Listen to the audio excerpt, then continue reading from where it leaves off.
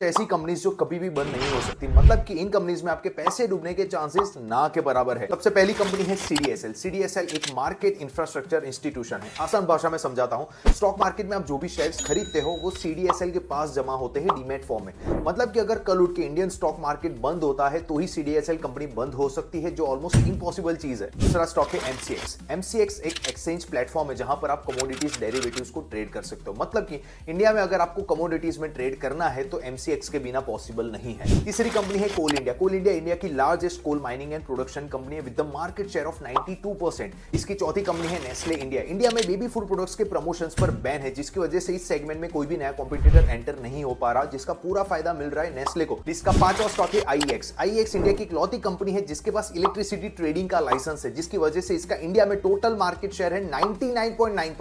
इस वीडियो को ज्यादा से ज्यादा लोगों तक शेयर करें ऐसे ही स्टॉक मार्केट अपडेट्स के लिए अभी फॉलो करें इनको